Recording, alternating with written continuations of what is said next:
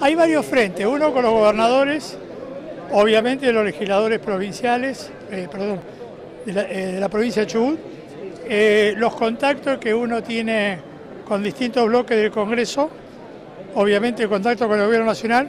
Yo creo que este tema, como otros temas, van a terminar debatiéndose en el Congreso.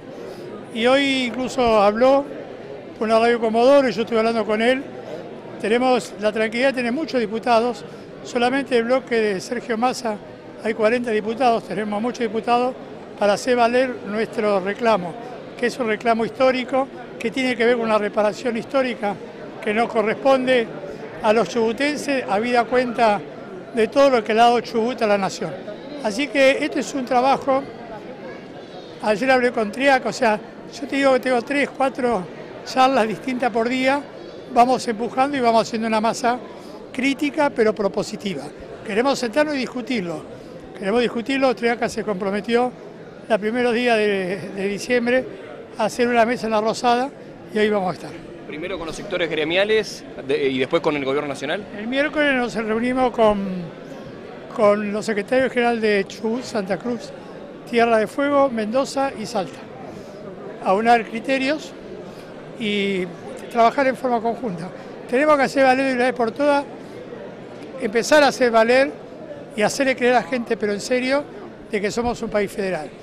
Eh, las individualidades no existen. El papelón ayer del bloque Frente para la Victoria en el Senado es inadmisible, porque ¿cómo no vas a aceptar una reforma política para terminar con los viejos feudos de negociación de boleta, de trampa, cuando acá se trataba otra cosa? Nosotros habíamos dado el visto bueno, pero obviamente hay provincias que están gobernadas de esa manera insisten, eso, eso ha sido un retroceso. Una jornada con mucho trabajo, sobre todo entre Belín y, y ahora aquí en, en, Lago Pueblo. Es una manera de devolver el cariño de la gente, esto de generar sonrisas y emociones en la sociedad. Sí, yo soy, me siento muy feliz. Hago las cosas porque no solamente porque me gusta, porque tengo un compromiso con la gente hace muchísimos años, porque la gente me acompaña en el buen sentido, en los momentos más difíciles. Y esto hace que uno, cuando se levanta a las 6 de la mañana, se pone en marcha la cabeza empieza a funcionar, hace su agenda, además de la agenda prevista, otro tipo de agenda, y trata de estar en toda la provincia. Yo este año en algún lado no he podido estar por, por razones obvias, porque hubo momentos que tenía dificultades, pero ya está, ya esto va superándose con la fuerza, con todo lo que la gente da. La gente es maravillosa. No tengo palabra para explicar lo que significa rosario, cadena de oraciones, este, cosas increíbles, llamadas telefónicas. Eh, yo el domingo, los domingos voy siempre a hacer algunas compras, la gente para el comercio.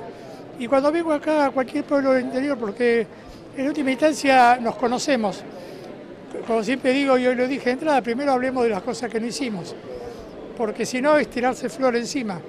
Y me parece que es importante una escuela nueva, es importante un hospital nuevo, pero también importante los servicios, porque una, una, una localidad como esta, que viene con un empuje de crecimiento y desarrollo grande, como Trevelli, como Radatili, como Gaiman, hay cuatro o cinco ciudades que realmente han pegado una explosión demográfica importante que hace que uno tiene que pensar en más escuelas, en más metros cuadrados sanitarios, en más servicios.